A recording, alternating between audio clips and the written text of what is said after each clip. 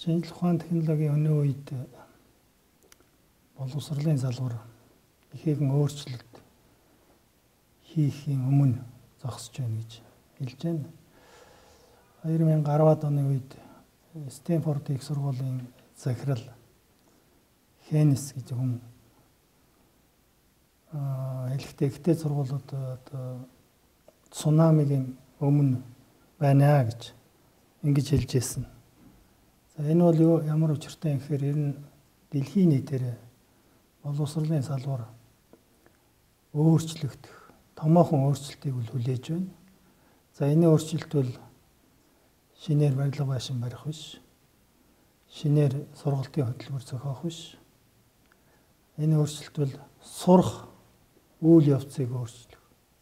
Ийм одоо зорилготой юм аа. Тэгэхээр өнөөдрийн уламжилт сургалтын арга барил бол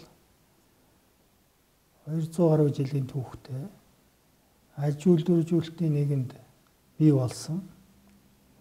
Өөрөөр юм массаар нь бэлтгэдэг дундаж оюутны төвшөнд сургалтыг явуулдаг ийм арга барил. Нөгөө талаас бол багш хүн бол маш өндөр үүрэгтэй. Багш сайн байвал сургалт сайн байдаг.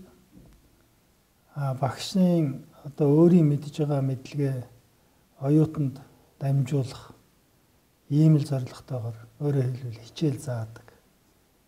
Ийм байсан.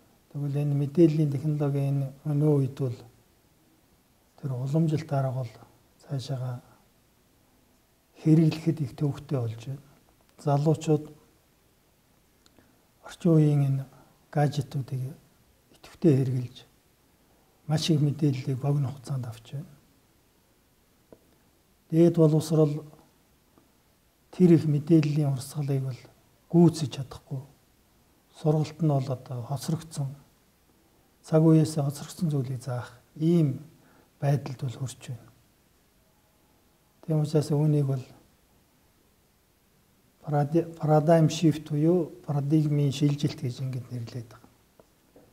Тэгээ энэ нөхцөл сургах арга барилыг яаж өөрчлөх вэ гэхээр энд энд гарч ирсэн шинэ одоо нэр томьёо бол instructional design буюу бидний хэлж байгаагаар сурах үйл ажиллагааны дизайн гэдэг ийм зүйл бий болж байгаа.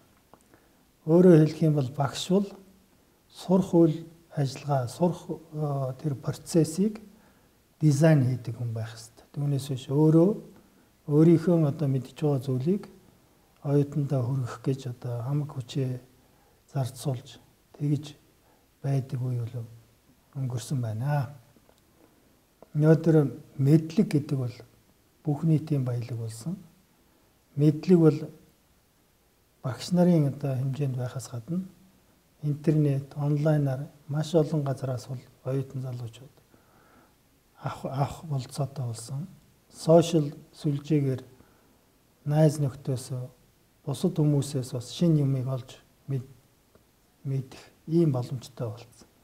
Ийм үед бол үнэхээр одоо энэ сургалтын процессыг сурах сургах гэдгээс жоохон холдож сурах үйл ажиллагааг дэмжих энэ чиглэл тал руу чиглүүлэх шаардлагатай байна. Нөгөө талаас зөвөр бидний үед сурч байхад би одоо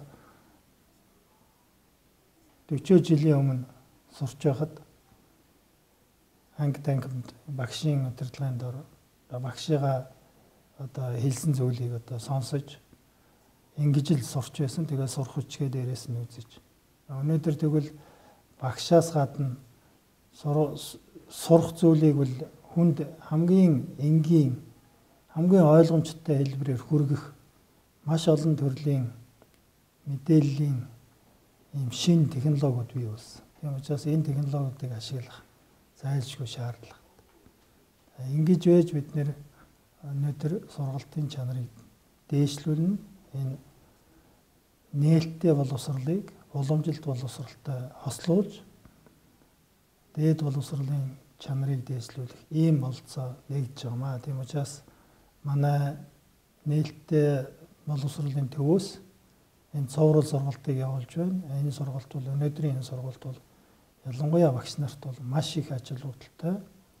А тэдэнд одоо бас нёгийг одогдуулах өөрсдийнхэн заа харгаа шинчлэх энэ талаар бол шин санаа, шин одоо бүтээл бий болгох ийм боломжийг л нээж өгч байгаараа онцлогтой.